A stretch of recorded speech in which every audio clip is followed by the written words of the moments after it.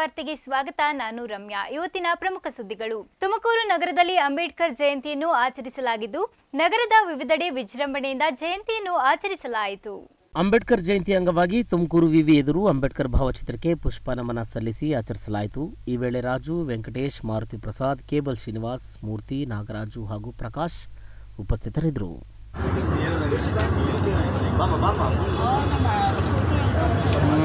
ಯಾವ್ದು ಕಾಲು ಹಾಂ. ತುಮಕೂರಿನ ದೇವರಾಯ ಪಟ್ಟಣದಲ್ಲಿ ಅಂಬೇಡ್ಕರ್ ಜಯಂತಿಯನ್ನು ಸಂಭ್ರಮ ಸಡಗರದಿಂದ ಆಚರಿಸಲಾಯಿತು. ದೇವರಾಯ ಪಟ್ಟಣದ ಅಂಬೇಡ್ಕರ್ ಸಮುದಾಯ ಭವನದಿಂದ ದೇವರಾಯ ಪಟ್ಟಣ ಸರ್ಕಲ್ವರೆಗೂ ಅಂಬೇಡ್ಕರ್ ಅವರ ಭಾವಚಿತ್ರದೊಂದಿಗೆ ಅಲಂಕರಿಸಲಾಗಿದ್ದ ವಾಹನದಲ್ಲಿ ಅದ್ದೂರಿಯಿಂದ ಮೆರವಣಿಗೆ ನಡೆಸಲಾಯಿತು. ಈ ಮೆರವಣಿಗೆಯಲ್ಲಿ ಯುವಕರು ಅರೆ ತಮಟೆ ವಾದ್ಯಕ್ಕೆ ಹೆಜ್ಜೆ ಹಾಕುತ್ತಾ ಸಂಭ್ರಮಿಸಿದರು.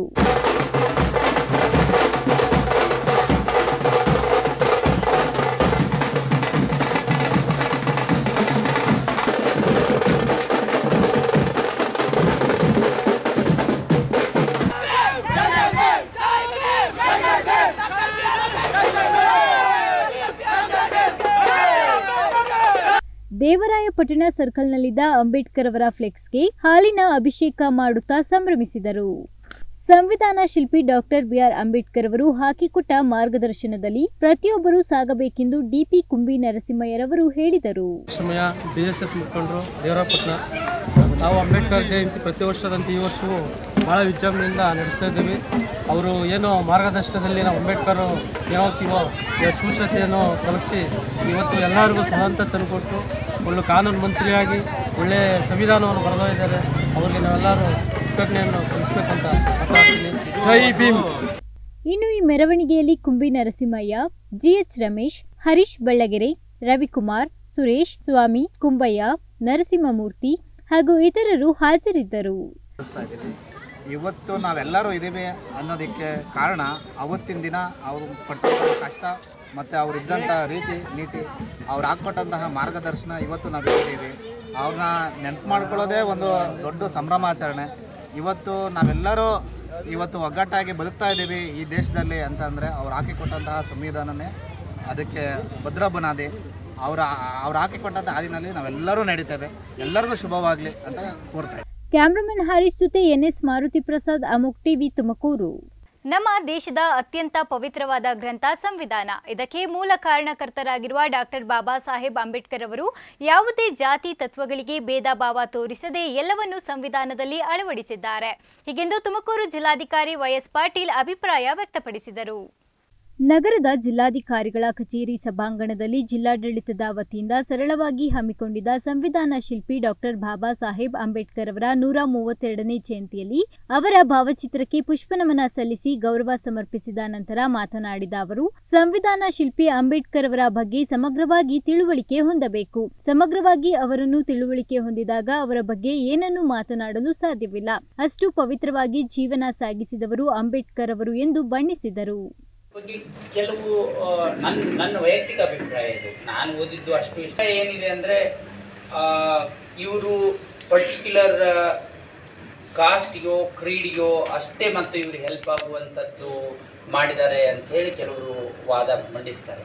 ಆದರೆ ನೀವು ಸಮಗ್ರವಾಗಿ ಅವ್ರನ್ನ ಅರ್ಥ ಮಾಡಿಕೊಂಡ್ರೆ, ಅವರು ಕಟ್ಟ ಕಡೆಯ ಪ್ರತಿಯೊಂದು ವ್ಯಕ್ತಿಯನ್ನು ಅವರು ಮೇಲಕ್ಕೆತ್ತುವಂಥ ಅತ್ಯಂತ ಪ್ರಾಮಾಣಿಕವಾದ ಪ್ರಯತ್ನ ಮಾಡಿ ಅದನ್ನೆಲ್ಲ ಸಂವಿಧಾನದಲ್ಲಿ ತಂದರು.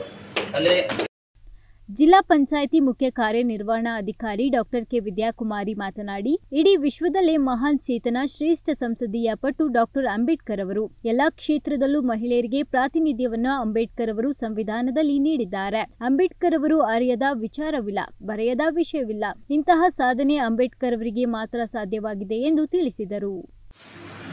ನಮಗೆಲ್ಲ ಗೊತ್ತೇ ಇರುವ ಹಾಗೆ ಇಡೀ ವಿಶ್ವದಲ್ಲೇ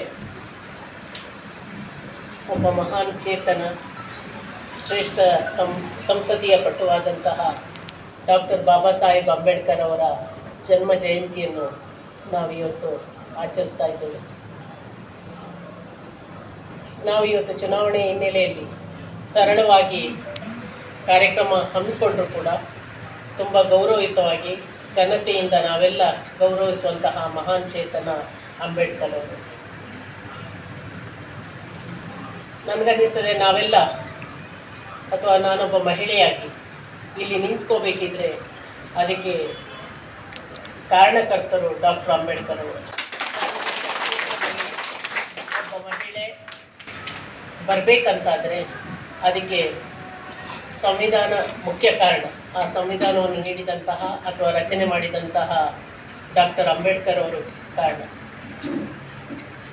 ಸಾಮಾನ್ಯವಾಗಿ ಒಂದು ಗಾದೆ ಮಾತಿದೆ. ಆಡು ಮುಟ್ಟದ ಸೊಪ್ಪಿಲ್ಲ ಅಂತ. ಅದೇ ರೀತಿಯಲ್ಲಿ ಅಂಬೇಡ್ಕರ್ ಅರಿಯದ ಅಥವಾ ಅಂಬೇಡ್ಕರ್ ಮುಟ್ಟದಂತಹ ವಸ್ತು ವಿಷಯಗಳಿಲ್ಲ. ಅಷ್ಟು ಅಗಾಧವಾದ ವ್ಯಾಪ್ತಿ ಅವರ ಬರವಣಿಗೆಗಳಲ್ಲಿದೆ.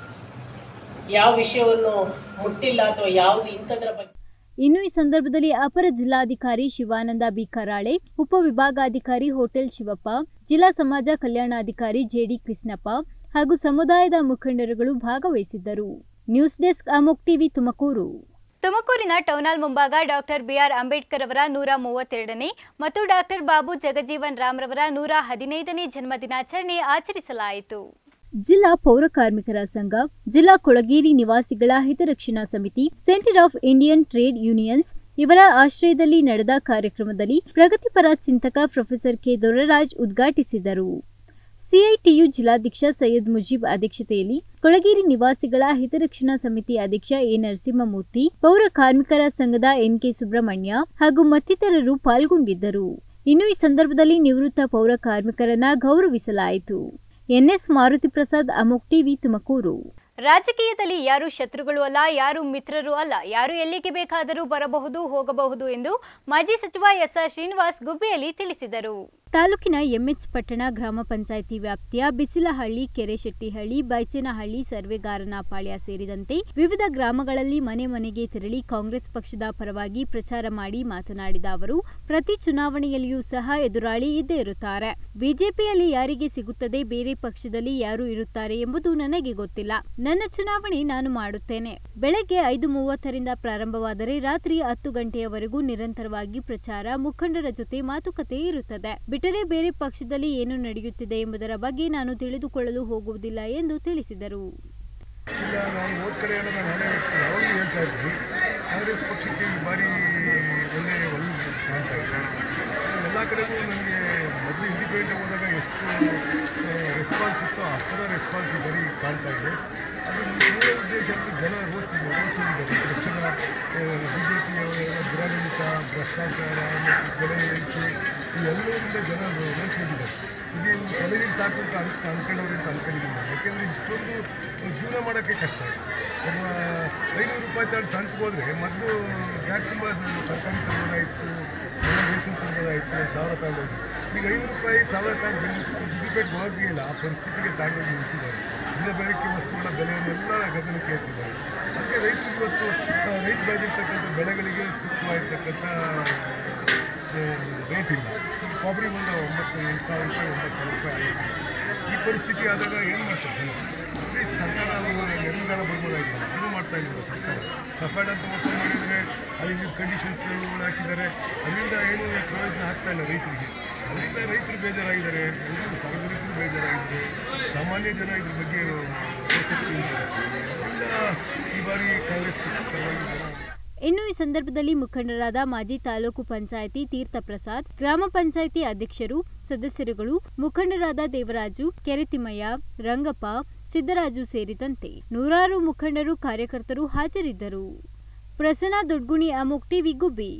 ಜೆಡಿಎಸ್ ಪಕ್ಷದ ಅಭ್ಯರ್ಥಿ ಬಿಎಸ್ ನಾಗರಾಜು ನಾಮಪತ್ರ ಸಲ್ಲಿಕೆ ಮಾಡುತ್ತಿದ್ದು, ಈ ಹಿನ್ನೆಲೆಯಲ್ಲಿ ಮಾಜಿ ಮುಖ್ಯಮಂತ್ರಿ ಕುಮಾರಸ್ವಾಮಿ ಆಗಮಿಸುತ್ತಿದ್ದಾರೆ. ಹೀಗೆಂದು ಜೆಡಿಎಸ್ ಅಭ್ಯರ್ಥಿ ಬಿಎಸ್ ನಾಗರಾಜು ತಿಳಿಸಿದರು. ಪಟ್ಟಣದ ಕಚೇರಿಯಲ್ಲಿ ಮಾತನಾಡಿದ ಅವರು, ನಾಳೆ ಮಧ್ಯಾಹ್ನ ಹನ್ನೊಂದು ಗಂಟೆಗೆ ಹೆಲಿಕಾಪ್ಟರ್ ಮೂಲಕ ಮಾಜಿ ಮುಖ್ಯಮಂತ್ರಿ ಕುಮಾರಸ್ವಾಮಿ ಆಗಮಿಸುತ್ತಿದ್ದು, ಹೆಚ್ಚಿನ ಸಂಖ್ಯೆಯಲ್ಲಿ ಕುಮಾರಸ್ವಾಮಿ ಅಭಿಮಾನಿಗಳು ಜೆಡಿಎಸ್ ಕಾರ್ಯಕರ್ತರು ಆಗಮಿಸಬೇಕು. ರೈತರ ಪಕ್ಷವಾಗಿರುವಂತಹ ಜೆಡಿಎಸ್ ಪಕ್ಷ ಈ ಬಾರಿಯೂ ಕೂಡ ಬಿಜೆಪಿ ವಿರುದ್ಧ ಗೆಲ್ಲುವುದು ಶತಸಿದ್ಧ. ಹಾಗಾಗಿ ಹೆಚ್ಚಿನ ಸಂಖ್ಯೆಯಲ್ಲಿ ರೈತಾಪಿ ವರ್ಗದವರು ಆಗಮಿಸಬೇಕಾಗಿ ಮನವಿ ಮಾಡಿದರು. ಜೊತೆಗೆ ನಾಳೆ ಏನು ನಾಮಿನೇಷನ್ ಫೈಲ್ ಮಾಡ್ತಾ ಇದ್ದೀವಿ ಸುಮಾರು ಹನ್ನೊಂದುವರೆಯಿಂದ ಹನ್ನೆರಡು ಗಂಟೆಗೆ ನಮ್ಮ ಕುಮಾರಣ್ಣವರು ಹೆಲಿಕಾಪ್ಟರ್ ಮುಖಾಂತರ ನಮ್ಮ ಹುಡುಗಿಗೆ ಆಗಮಿಸಲಿದ್ದಾರೆ. ಅದಾದಮೇಲೆ ದೇವಸ್ ಚನ್ನಬಸವೇಶ್ವರ ಟೆಂಪಲ್ನಲ್ಲಿ ಪೂಜೆನ ಸಲ್ಲಿಸಿ ರ್ಯಾಲಿ ಮುಖಾಂತರ ಬಸ್ ಸ್ಟ್ಯಾಂಡ್ ಕಾರ್ಯಕರ್ತರನ್ನ ಉದ್ದೇಶಿಸಿ ಮಾತನಾಡಲಿದ್ದಾರೆ. ಈ ಸಭೆಗೆ ಸುಮಾರು ತಾಲೂಕಿನ ಹೆಚ್ಚು ಸಂಖ್ಯೆ, ಇಪ್ಪತ್ತೈದರಿಂದ ಮೂವತ್ತು ಸಾವಿರ ಜನಸಂಖ್ಯೆ ಸೇರುವ ನಿರೀಕ್ಷೆ ಇದೆ. ಯಾಕೆಂತಂದರೆ ರೈತರ ಕಣ್ಮಣಿ, ಯುವಕರ ಕಣ್ಮಣಿ ಕುಮಾರಣ್ಣ ಅವರು ಬರ್ತಾ ಇರೋದು ನಮ್ಮ ಗುಬ್ಬಿ ತಾಲೂಕಿಗೆ ಇದೇ ಸಂದರ್ಭದಲ್ಲಿ ಗಂಗಾಧರ್, ಸಲೀಂ ಪಾಷಾ, ಆಟೋ ಮಂಜುನಾಥ್, ಡಿ ರಘು, ಸಿದ್ದರಾಮಣ್ಣ ಸೇರಿದಂತೆ ಇತರರು ಹಾಜರಿದ್ದರು. ಮಹತ್ವವನ್ನು ತಿಳಿದು ಪ್ರಜಾಪ್ರಭುತ್ವದ ಉಳಿವಿಗಾಗಿ ಕಡ್ಡಾಯವಾಗಿ ಮತ ಚಲಾಯಿಸಬೇಕು ಎಂದು ತಾಲೂಕು ಪಂಚಾಯತ್ ಕಾರ್ಯನಿರ್ವಾಹಕ ಅಧಿಕಾರಿಗಳಾದ ಮಾನ್ಯ ವಸಂತ್ ಕುಮಾರ್ ಅವರು ತಿಳಿಸಿದರು. ವಿಧಾನಸಭಾ ಚುನಾವಣೆ ಎರಡ್ ಸಾವಿರದ ಇಪ್ಪತ್ತ್ ಮೂರರ ಅಂಗವಾಗಿ ಮತದಾನ ಜಾಗೃತಿಗಾಗಿ ಚಿಕ್ಕನಾಯಕನಹಳ್ಳಿ ತಾಲೂಕು ಸ್ವೀಪ್ ಸಮಿತಿ ವತಿಯಿಂದ ಹುಳಿಯಾರು ಪಟ್ಟಣ ಹಾಗೂ ಗ್ರಾಮ ಪಂಚಾಯತಿಗಳಲ್ಲಿ ಹಮ್ಮಿಕೊಂಡಿದ್ದ ಬೈಕ್ ರ್ಯಾಲಿ ಜಾಗೃತಿ ಕಾರ್ಯಕ್ರಮಕ್ಕೆ ಅಧಿಕಾರಿಗಳು ಚಾಲನೆ ನೀಡಿದರು. ತಾಲೂಕಿನ ಮತ್ತಿಘಟ್ಟ ಅರೇನಹಳ್ಳಿ ಗೇಟ್ ಲಕ್ಷ್ಮೀಪುರ ಗೋಪಾಲ್ಪುರ ತಿಮ್ಲಾಪುರ ಹುಳಿಯಾರು ಪಟ್ಟಣದವರೆಗೆ ಈ ಒಂದು ಬೃಹತ್ ಬೈಕ್ ರ್ಯಾಲಿ ಮೂಲಕ ಮತದಾನ ಜಾಗೃತಿ ಅಭಿಯಾನವನ್ನು ಕಾರ್ಯಕ್ರಮ ಆಚರಿಸಲಾಯಿತು. ಚಿಕ್ಕನಾಯಕನಹಳ್ಳಿ ಪಟ್ಟಣದ ನೆಹರು ವೃತ್ತದಲ್ಲಿ ಸಂವಿಧಾನ ಶಿಲ್ಪಿ Baba Saheb doctor B R Ambedkar ಅವರ ನೂರ ಮೂವತ್ತೆರಡನೇ ಜನ್ಮ ಜಯಂತಿ ಆಚರಿಸಲಾಯಿತು. ಪಟ್ಟಣದ ನೆಹರು ಸರ್ಕಲ್ನಲ್ಲಿ ಸ್ವಾಭಿಮಾನಿ ಯುವಕರ ಸಂಘ ಹಿಂದೂ ಮುಸ್ಲಿಂ ಹಾಗೂ ಪೌರ ಕಾರ್ಮಿಕರ ಒಕ್ಕೂಟದಿಂದ ನೂರ ಮೂವತ್ತೆರಡನೇ ಜಯಂತಿಯನ್ನು ಬಾಬಾ ಸಾಹೇಬ್ ಅಂಬೇಡ್ಕರ್ ಅವರ ಭಾವಚಿತ್ರಕ್ಕೆ ಪುಷ್ಪಮಾಲಿಕೆಯನ್ನು ಅರ್ಪಿಸುವ ಮೂಲಕ ಸಿಹಿ ಹಂಚಿ ಸರಳವಾಗಿ ಆಚರಿಸಿ ಸಂಭ್ರಮಿಸಿದರು. ಪೌರ ಕಾರ್ಮಿಕ ರಘು ಮಾತನಾಡಿ, ಬಾಬಾ ಸಾಹೇಬ್ ಅಂಬೇಡ್ಕರ್ ಅವರ ಜಯಂತಿಯನ್ನು ಹೊರ ದೇಶಗಳಲ್ಲಿ ಜ್ಞಾನದ ಸಂಕೇತವಾಗಿ ಇಂದು ಜ್ಞಾನದ ದಿನವಾಗಿ ಆಚರಿಸುತ್ತಿದ್ದು ಹೆಮ್ಮೆಯ ವಿಚಾರ ಎಂದರು. ಅಂಬೇಡ್ಕರ್ನ ಎಲ್ಲಿವರೆಗೂ ಅರ್ಥ ಮಾಡ್ಕೊಳ್ಳಲು ಅಲ್ಲಿವರೆಗೂ ಈ ದೇಶ ಉದ್ಧಾರ ಆಗಲ್ಲ. ಏಕೆಂದರೆ ಬಾಬಾ ಸಾಹೇಬ್ ಅಂಬೇಡ್ಕರ್ ಇಡೀ ವಿಶ್ವದ ಜ್ಞಾನಿ, ವಿಶ್ವಜ್ಞಾನಿ. ಇವತ್ತು ಹೊರ ಇಂಗ್ಲೆಂಡ್ ಇರ್ಬೋದು ಅಮೇರಿಕ ಇರ್ಬೋದು, ಇವತ್ತು ಜ್ಞಾನ ದಿನಾಚರಣೆ ಅಂತ ಹೇಳಿ ಅಂಬೇಡ್ಕರ್ ಹುಟ್ಟಿದ ದಿವಸನ ಜ್ಞಾನ ದಿನಾಚರಣೆ ಅಂತ ಹೇಳಿ ಆಚರಣೆ ಮಾಡ್ತಾ ಇದ್ದಾರೆ. ಅದಕ್ಕೆ ನಾವು ಆ ದೇಶಗಳಿಗೆ ಈ ದೇಶದ, ಈ ನಾಡಿನ, ಈ ತಳ ಕಾರ್ಮಿಕರ ಪರವಾಗಿ ಧನ್ಯವಾದಗಳನ್ನು ಅರ್ಪಿಸ್ತೇನೆ. ದಲಿತ ಮುಖಂಡ ಬೇವಿನಹಳ್ಳಿ ಚನ್ನಬಸವಯ್ಯ ಮಾತನಾಡಿ, ಪ್ರತಿಕ್ಷಣಕ್ಕೂ ಸ್ಮರಿಸುವ ವ್ಯಕ್ತಿಯೇ ಏನಾದರೂ ಇದ್ದರೆ ಅದು ಬಾಬಾ ಸಾಹೇಬ್ ಅಂಬೇಡ್ಕರ್ ಅವರು ಮಾತ್ರ. ಅಂಬೇಡ್ಕರ್ ಅವರ ಆಶಯದಂತೆ ಸರ್ವರಿಗೂ ಸಮಪಾಲು, ಸಮಬಾಳು ಕಲ್ಪಿಸಿದ್ದು, ಆಳುವ ಸರ್ಕಾರಗಳು ಸಮಾನತೆ ಕಲ್ಪಿಸಬೇಕಿದೆ ಅಂತ ತಿಳಿಸಿದರು. ಡಾಕ್ಟರ್ ಬಾಬಾ ಸಾಹೇಬರವರನ್ನು ಪ್ರತಿ ಸೆಕೆಂಡ್ಗೂ ಗೌರವಿಸುವಂಥ ವ್ಯಕ್ತಿ ಅಂತಂದರೆ ಪ್ರಪಂಚದಲ್ಲಿ ಅವರು ಡಾಕ್ಟರ್ ಬಿ ಆರ್ ಅಂಬೇಡ್ಕರ್ ಅವರು. ಅವರ ನೂರ ಮೂವತ್ತೆರಡು ಜಯಂತಿಯನ್ನು ಇಷ್ಟೊಂದು ವಿಜೃಂಭಣೆಯಾಗಿ ಮಾಡೋ ಅಂಥ ಮನಸ್ಸನ್ನು ಕೊಟ್ಟಿರ್ತಕ್ಕಂಥ ಇಲ್ಲಿ ಇರ್ತಕ್ಕಂಥ ಎಲ್ಲ ಯುವಕರಿಗೂ ನಾನು ಮೊದಲನೇ ಆಗಿ ಅಭಿನಂದನೆ ಸಲ್ಲಿಸ್ತೀನಿ. ಏನು ಅಂಬೇಡ್ಕರ್ ಅವರ ಆಸೆಯಂತೆ ಈ ಜಗತ್ತಿನಲ್ಲಿರ್ತಕ್ಕಂಥ ಸರ್ವ ಜನಕ್ಕೂ ಸಮಪಾಲು ಸಮಬಾಳನ್ನ ಸಂವಿಧಾನ ಮೂಲಕ ಕೊಟ್ಟಿದ್ದಾರೆ. ಅದನ್ನು ಯಾವುದೇ ಸರ್ಕಾರವಾಗಲಿ ಅದನ್ನು ಸರಿಯಾದ ರೀತಿ ನಿಭಾಯಿಸಿ ಸರ್ವರಿಗೂ ಸಮಬಾಳು, ಸಮಪಾಲನ್ನು ಕೊಟ್ಟಕ್ಕಂಥ ಕೆಲಸವನ್ನು ಮಾಡಬೇಕು. ಭಾಗ್ಯ ವಿಧಾತರ ನೂರ ಮೂವತ್ತೆರಡನೇ ಜಯಂತಿ ಕಾರ್ಯಕ್ರಮ. ಚಿಕ್ಕನಾಗ್ನಳ್ಳಿ ಡಾಕ್ಟರ್ ಬಾಬಾ ಸಾಹೇಬ್ ಅಂಬೇಡ್ಕರ್ ಅವರ ನಗರದ ಯುವ ಬಳಗ, ಸ್ವಾಭಿಮಾನಿ ಬಳಗ ಅಂತ ಹೇಳಬೇಕು ಇವತ್ತು.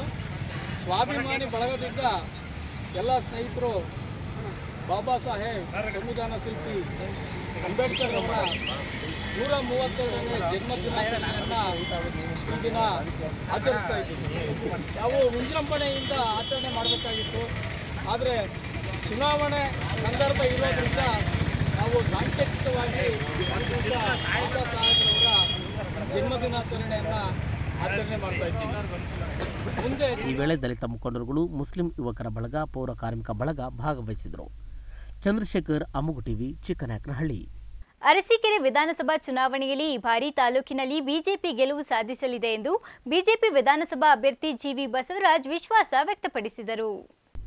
ಬಿಜೆಪಿಯಲ್ಲಿ ಒಬ್ಬ ಸಾಮಾನ್ಯ ಕಾರ್ಯಕರ್ತನಿಗೆ ವಿಧಾನಸಭಾ ಅಭ್ಯರ್ಥಿಯಾಗಿ ಚುನಾವಣೆಯಲ್ಲಿ ಸ್ಪರ್ಧಿಸಲು ಅವಕಾಶ ಮಾಡಿಕೊಟ್ಟಿದೆ. ಮತ್ತು ಈ ಬಾರಿ ತಾಲೂಕಿನಲ್ಲಿ ಬಿಜೆಪಿ ಗೆಲುವು ಸಾಧಿಸಲಿದೆ. ನಾನು ಸುಮಾರು ಹನ್ನೆರಡು ವರ್ಷದಿಂದ ಪಕ್ಷದಲ್ಲಿ ಕೆಲಸ ಮಾಡಿಕೊಂಡು ಬಂದಿದ್ದೇನೆ. ಪಕ್ಷ ನನಗೆ ಹಲವಾರು ಜವಾಬ್ದಾರಿಗಳನ್ನ ನೀಡಿದ್ದು, ಸಮರ್ಪಕವಾಗಿ ನಿರ್ವಹಿಸಿರುವುದರಿಂದ ಪಕ್ಷ ನನಗೆ ಈ ಬಾರಿ ಕ್ಷೇತ್ರದ ಅಭ್ಯರ್ಥಿಯಾಗಿ ಘೋಷಿಸಿದೆ ಎಂದು ತಿಳಿಸಿದರು. ರಾಷ್ಟ್ರೀಯ ಪಕ್ಷ ವಿಶ್ವದಲ್ಲಿ ಒಂದು ದೊಡ್ಡ ಪಕ್ಷವಾಗಿರುವಂತಹ ರಾಷ್ಟ್ರೀಯ ಪಕ್ಷ, ಯಾರಿಗೆ ಒಂದು ಟಿಕೆಟ್ ಕೊಡ್ಬೇಕಾದ್ರೆ ಸುಮ್ ಸುಮ್ಮನೆ ಯಾರಿಗೂ ಕೊಡೋದಿಲ್ಲ. ನಮ್ಮನ್ನೆಲ್ಲ ಆಯ್ಕೆ ಮಾಡಿರೋದಕ್ಕೆ ಒಂದು ಮಾನದಂಡ ಇದೆ ಅಂತೇಳಿ ನಾನು ಭಾವಿಸ್ತೀನಿ. ಇವತ್ತೇನು ಬಂಡಾಯ ಅನ್ನೋಂಥದ್ದು ಏನಿದೆ, ನಾವೆಲ್ಲ ಮುಖಂಡರಿಗೂ, ನಮ್ಮೆಲ್ಲ ಮುಖಂಡರಿಗೂ ಸಹ ನಾವೀಗ ಫೋನ್ ಕರೆ ಮುಖೇನ ಕೆಲವ್ರನ್ನ ಭೇಟಿ ಮಾಡೋಂಥದ್ದು ಇದೆ. ಮತ್ತು ಇವತ್ತು ನಾಳೆ ಒಳಗಡೆ ಯಾರ್ಯಾರು ಇದಕ್ಕೆ ಒಂದು ಇದು ಮಾಡ್ತಿದ್ದಾರೆ, ಅವ್ರನ್ನ ನಮ್ಮ ಒಂದು ಏನು ಗೌರವ ಧಕ್ಕೆ ಬರೋದಕ್ಕೆ, ನಮ್ಮ ಸ್ವಾಭಿಮಾನಕ್ಕೆ ಧಕ್ಕೆ ಬರೋದಕ್ಕೆ ನಮ್ಮೆಲ್ಲ ಮುಖಂಡರನ್ನು ಜೋಡಿಸ್ಕೊಂಡು ಅವ್ರ ಮನೆ ಬಾಗಿಲಿಗೆ ಹೋಗಿ ಅವ್ರನ್ನೆಲ್ಲರೂ ವಿಶ್ವಾಸಕ್ಕೆ ತಗೊಂಡು ಒಂದು ಯಶಸ್ವಿ ಚುನಾವಣೆ ಮಾಡಿ ಅವರೆಲ್ಲರೂ ಒಗ್ಗೂಡಿಸ್ಕೊಂಡು ಹೋಗ್ಬೇಕು ಅನ್ನೋಂಥ ಚಿಂತನೆನ ನಾವೆಲ್ಲ ನಡೆಸಿದ್ವಿ. ಅವ್ರನ್ನೂ ಸಹ ಎಲ್ಲ ಭೇಟಿ ಮಾಡಿದ್ವಿ. ಯಾರ್ಯಾರು ಈ ಥರದ್ದು ಅಭಿಪ್ರಾಯ ಇದೆ, ಅವ್ರನ್ನೆಲ್ಲ ಭೇಟಿ ಮಾಡಬೇಕು ಅಂತ ಆಲೋಚನೆ ಮನುಷ್ಯ ಯಾರು ಅಂತ ಹೇಳ್ಬೇಕಾಗ್ತದೆ ನಾವೆಲ್ಲ ಮಾತಾಡೋದಕ್ಕೂ ನಮ್ಗೆ ಉತ್ತರ ಕೊಡೋಕ್ಕಾಗಲ್ಲ. ಅದು ಉತ್ತರ ಹದಿಮೂರನೇ ತಾರೀಕು ನಾನು ಉತ್ತರ ಕೊಡ್ತೀನಿ ಅವ್ರಿಗೆ. ನಾನೆಲ್ಲೂ ಅರಸೀಕೆರೆ ಬಿಟ್ಟು ಹೋಗಲ್ಲ. ಅರಸೀಕೆರೆ ಮಗ ನಾನು. ಅರಸೀಕೆರೆನಲ್ಲಿ ಇರ್ತೀನಿ ಯಾರು ಆ ಥರ ಯಾರು ಏನು ಹೇಳಿಕೆ ಕೊಟ್ಟಿದ್ದಾರೆ? ಆ ಹೇಳಿಕೆಗೆ ಹದಿಮೂರನೇ ತಾರೀಕು ಜಿ ಬಿ ಟಿ ಬಸವರಾಜ್. ಇನ್ನು ಈ ಸಂದರ್ಭದಲ್ಲಿ ರಾಜ್ಯ ಒಬಿಸಿ ಘಟಕದ ಕಾರ್ಯದರ್ಶಿ ಮಾಡಾಳು ಕೊಟ್ರೇಶ್ ಗ್ರಾಮಾಂತರ ಮಂಡಲ ಅಧ್ಯಕ್ಷ ದುಮ್ಮೇನಹಳ್ಳಿ ರಮೇಶ್ ನಗರ ಮಂಡಲ ಅಧ್ಯಕ್ಷ ಪುರುಷೋತ್ತಮ್ ಸ್ಥಳೀಯ ಯೋಜನಾ ಪ್ರಾಧಿಕಾರದ ಅಧ್ಯಕ್ಷ ಕಾಟಿಕೆರೆ ಪ್ರಸನ್ನಕುಮಾರ್ ಹಾಗೂ ಇತರರು ಹಾಜರಿದ್ದರು. ನವೀನ್ ಕುಮಾರ್ ಅಮೋಕ್ ಟಿವಿ ಅರಸೀಕೆರೆ ಇದಿಷ್ಟು ಈ ಕ್ಷಣದ ಪ್ರಮುಖ ಸುದ್ದಿಗಳು ಮತ್ತಷ್ಟು ಸುದ್ದಿಗಾಗಿ ನೋಡ್ತಾ ಇರಿ ಅಮೋಕ್ ಟಿವಿ ಎಂದೆಂದಿಗೂ ನಿಮ್ಮೊಂದಿಗೆ.